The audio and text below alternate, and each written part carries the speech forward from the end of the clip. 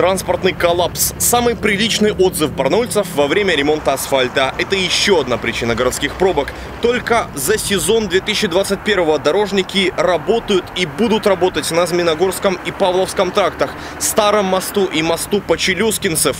В общем, 23 объекта. Автомобилисты уже в самом начале готовы оценить организацию движения. Не ахти, особенно когда на Змеиногорском тракте проходила недавно. Вообще плохо было проехать, заторы были и по Лосихинской, и туда дальше. Вы давно в пробку попадали во время ремонта? Недели полторы назад, два с половиной часа я ехал по горе. И ну, считаю, что это было бестолково. Я так понимаю, там это до сих пор.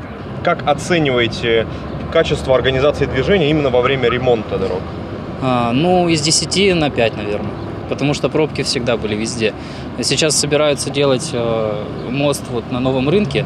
Не представляю вообще, что будет. Будет коллапс уже без преувеличения. Не нужно забывать, что это один из сложнейших объектов для ремонта. Даже в администрации города говорят, что проектная документация хоть и разработана, ее все же будут корректировать, потому что стоимость работ считали еще больше пяти лет назад. А только за последние два года металл подорожал больше, чем на 50%. Так что после пересчета цена станет гораздо выше нынешних миллиарда 300 миллионов. Представьте, какую работу предстоит проделать. Николай Данилин, депутат Краевого Заксобрания и директор ДСУ номер 4, который сейчас ремонтирует старый мост, говорит так. Тонкостей при ремонте одного из главных путепроводов Барнаула будет множество. По нему идут все вообразимые коммуникации от кабелей спецсвязи до теплотрассы. Только на подготовительный период уйдет не меньше полугода.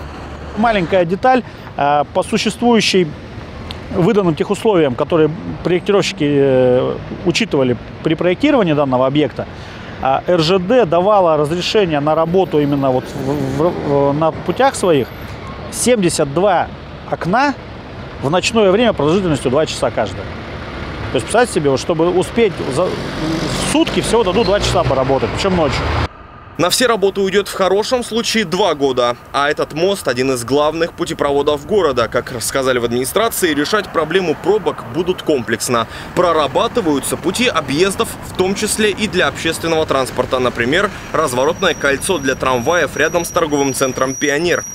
Также возможность пересадки пассажиров, то есть они, допустим, доехали до, на трамвае до торгового центра «Пионер», с одним этим билетом перешли на другую сторону, к дому быта, э, сели на троллейбус, допустим, продолжили движение.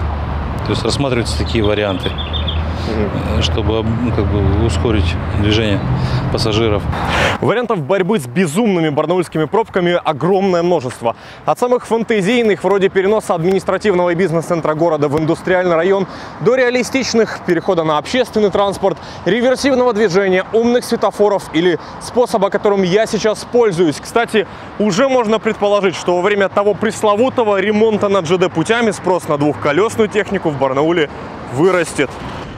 Слову, вот этот бетонный путепровод рядом с мостом для пешеходов и велосипедистов сделают поудобней. С машинами сложнее. По проспекту Ленина в сутки движется до 40 тысяч авто. Все эксперты говорят, да и чиновники не спорят, не существует средств безболезненно перераспределить этот гигантский автопоток по другим и без того оживленным артериям. Что уж говорить, даже решить проблему ночного ремонта не получается, хотя многие водители недоумевают, почему ремонтируют днем, когда дороги загружены.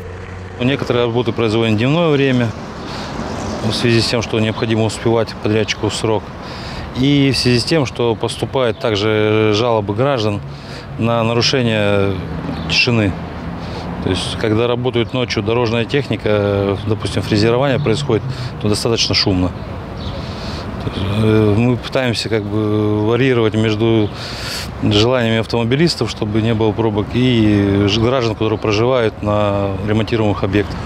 Как говорят эксперты, проблему нужно решать комплексно, думать о строительстве новых кварталов, учитывая генплан развития города и план развития автомобильных дорог, увеличить количество парковочных мест в новостройках, ввести ту самую интеллектуальную систему движения с умными светофорами и, конечно, из главных способов отбить у человека желание покупать машину – развитие системы общественного транспорта.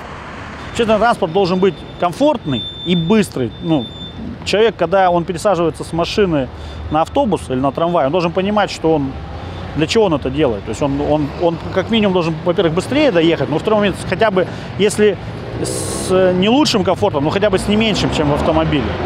Вот. Почему я говорю, что у нас есть хороший опыт города Москвы. Я знаю, что администрация со своей стороны старается принимать участие и в перспективе надеется э, получить какую-то поддержку от федерального бюджета.